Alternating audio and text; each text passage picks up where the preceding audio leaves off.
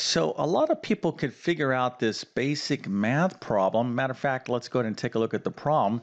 We have negative of absolute value of negative 9 plus 17. And of course, we want to see what this is equal to.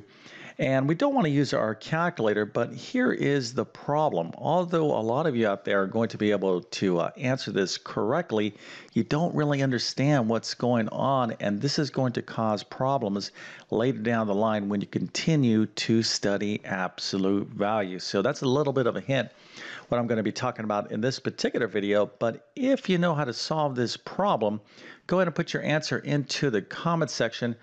And then, of course, I'm going to explain step by step what's really going on in terms of the solution of this problem. But uh, before we get started, let me quickly introduce myself. My name is John, and I have been teaching middle and high school math for decades. And it really is my true passion to try to make learning math as easy as possible. So if you're struggling in math or if you need assistance in mathematics, check out my Math Help program at tcmathacademy.com. You can find a link to that in the description below. And if this video helps you out, don't forget to like and subscribe, as that definitely helps me out. Okay, so first things first. Uh, one, we have to recognize first, or what we need to do is recognize what kind of problem we're dealing with. Okay, so these bars, these are vertical bars. This in, uh, indicates absolute value. Okay, that's what we call this in mathematics. And this is different than uh, parentheses. So it's not like negative parentheses, negative 9 plus 17 parentheses like that, or brackets. These symbols uh, mean, uh, you know, a lot in mathematics. In other words, they're uh, very specific, if you will. So you don't want to confuse um, uh, negatives, um, or I'm sorry, uh, parentheses with absolute value. And this is important. Really make sure you understand this. So if I had 2 times x plus 3. Now, for those of you that know some basic algebra, uh, you would say, okay, I can use the distributive property to go 2 times x. Uh, that is correct. And then 2 times 3 would be 6.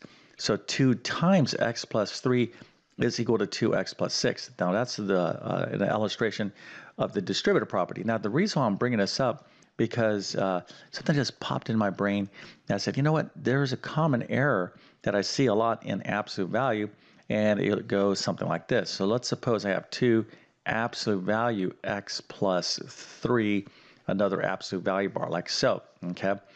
Now, you can see here that when we are dealing with parentheses, you can use the distributive property, but here you cannot. Okay, this is what we call an absolute value function. So you cannot do this 2 times x uh, plus, uh, 2 times 3, 6, absolute value like that. This is a no-no. So what we are talking about is absolute value function. Right, so this means do something with what's inside of this. Okay, so again, the topic here is absolute value, and I really, really wanted to uh, distinguish this is not like parentheses. Okay, so what do we need to do here? Well, the first thing we need to do is figure out what's going on inside. Here We've got to clean up uh, whatever numeric operations we need to do inside the, of the absolute value. So let's go ahead and do that right now. So we have negative absolute value negative 9 plus 17. And when we add negative 9 and 17, uh, we have a positive 8. Okay, so this is equal to the opposite or negative of the absolute value of a positive 8. Okay, so at this point, we need to figure out what the absolute value of positive 8 is. And I think most of you uh, probably know the answer. Now, if you're not familiar with absolute value, absolutely, okay, no pun intended, must understand this concept. This is a, a really uh, important basic math concept, and it's going to be all over the place, especially for those of you that are going to get into algebra. But let's go ahead and get into this right now. So let, let me give you a quick explanation, okay, just to tell you the answer. So the absolute value of a positive 8 is equal to 8, okay? Now, most students uh, think of the absolute value as, well, uh, if I take the absolute value of a number like 8, the answer is just the positive version of that uh, uh, number, right? The absolute value of positive 8 is 8, and the absolute value of negative 8 is also a positive 8. Okay, so a lot of students uh, think, oh, okay, when I take the absolute value, it's just uh, whether it's positive or negative, the answer is always going to be positive. And um, essentially, that is correct. But that is not really what's going on here, right? That kind of lends to my title. Although a lot of you can get this right, you don't really understand the concepts, and that's going to be detrimental later down the line. So I'll explain the concepts of absolute value, the uh, kind of a basic introduction to this in just one second. But let's go ahead and finish up the problem. Okay, so here we had uh, the negative or the opposite. You know, when you see a negative sign like this, you can I think of this as a negative, obviously, or the opposite of this. So we have the opposite of the absolute value of, uh, positive 8. We know the absolute value of positive 8 is 8. Now notice, and now I have this in parentheses. Okay, so we're done. Uh, we're uh, basically what I'm trying to say here was we evaluated the absolute value function. Okay, so we took the absolute value of 8 and now we have a positive 8.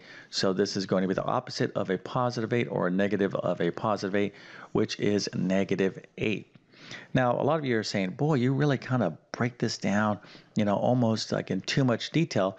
Well, I do this because uh, we need to understand the process of what's going on, you know, uh, in math. When you take a step, you know, you don't want to just say, oh, I can take this step, I can do this step. Well, there's always a reason or justification on going from here to here and here to here.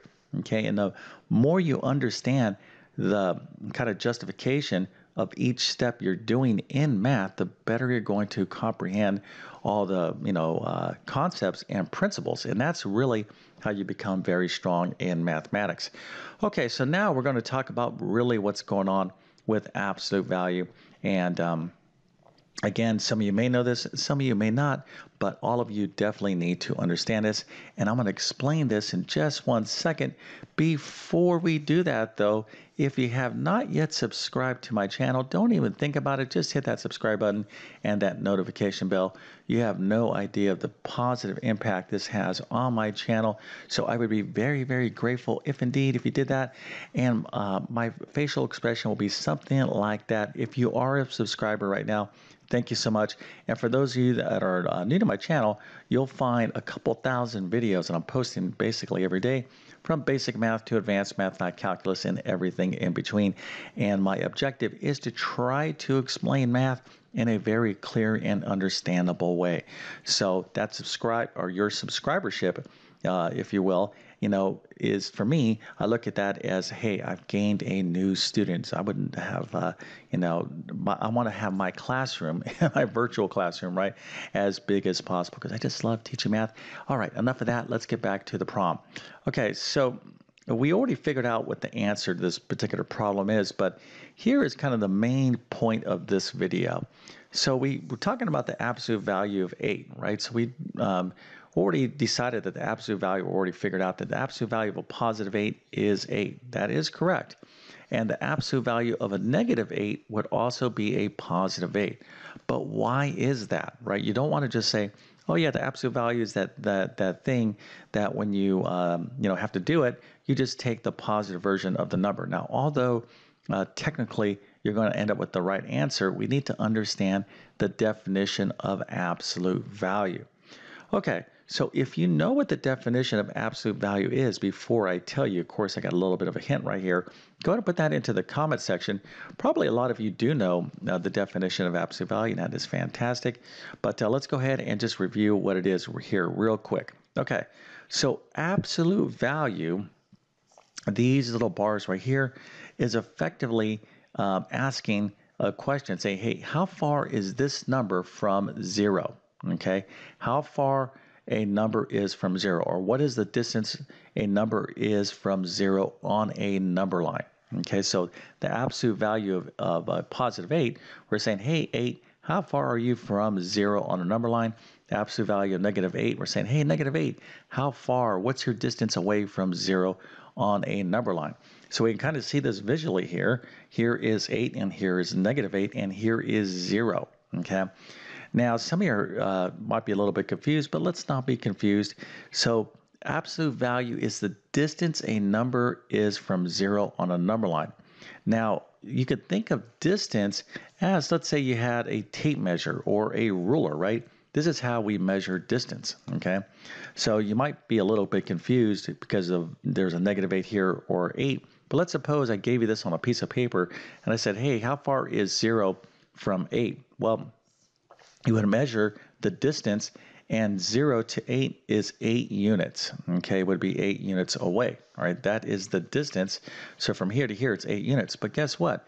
From 0 to negative 8 it is also the same uh, distance away. It's 8 units okay? So in mathematics or in science typically we're going to measure distance or displacement in positive units okay so this distance is the same as this distance okay And again it's going to be positive because distance um, or displacement again is typically in positive units.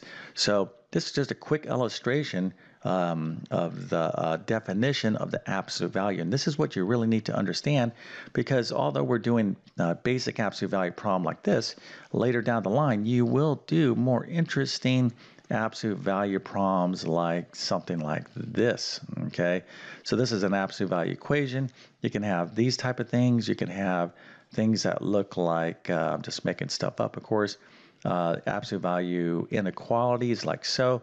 So, you know, there's a lot you need to know about absolute value. You need to work to know how to work with basic absolute value expressions, equations, inequalities. You got to know how to graph absolute value, on and on and on. But don't get overwhelmed uh, when it comes to anything in mathematics when you're like, oh, that's a lot to learn. No, you just want to take it one step at a time. But even if you understand what I'm saying here, that's great. And that is my objective is to try to give you some clear and understandable instruction.